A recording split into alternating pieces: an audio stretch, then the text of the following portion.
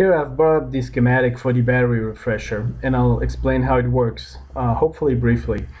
Um, so what we can see is that the, the, the, battery to be refreshed is also powering the whole system. That's why you'll see only two leads coming out of the different builds that I've made. And this is not what I've made. This is, um, well, I found this online. So uh, I don't know if it's from the original site or somebody else who built it. But the schematic is the same. Okay. So this part only serves to um, have a visual indicator with this LED that the, the system is working okay? And whenever the battery is being refreshed then you have a small you have a short flash and you can see that it's working. It's very useful because otherwise you have to hook up the scope and everything. It's pain in the butt. All right um, and here's how it works. So we'll concentrate on this this area. And once you understand all you have to do essentially this is correctly um, uh, drawn in the base is not connected and the emitter is towards the positive side. And here's how this acts. This acts essentially as a, a large Zener diode and uh, with some hysteresis, I think, because otherwise it'd be well, a little bit different, but nonetheless, um, this typically switches at 11.5 uh, to 12 volts, typically 11.5 to 11.8 volts.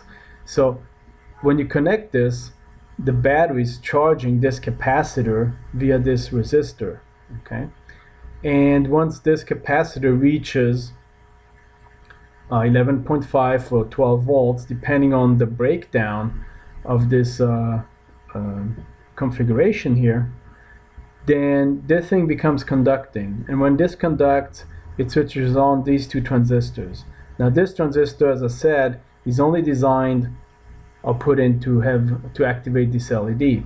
This transistor though, it's a it's more beefy, shorts out the battery positive and negative minus the diode drop off voltage for, for a brief moment until this um, capacitor goes below this breakdown voltage. And that's why I said there's a hysteresis because it has to go lower than the actual breakdown voltage for this thing to stop conducting. Okay. Now this has all this has to do with in the um, the PN and NP junctions in in um, silicon transistors, and I'm not going to go into that. I'm not very familiar with the intrinsics. I just know the principles of operation.